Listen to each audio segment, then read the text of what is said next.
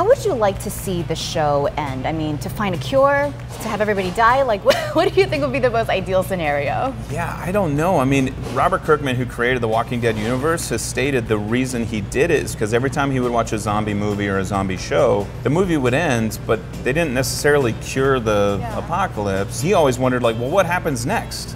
And that's basically the starting point for The Walking Dead. It's like he wanted to create something that doesn't really end. I could see this thing going 20 seasons. Everybody asks me, like, how do you want to see Eugene die?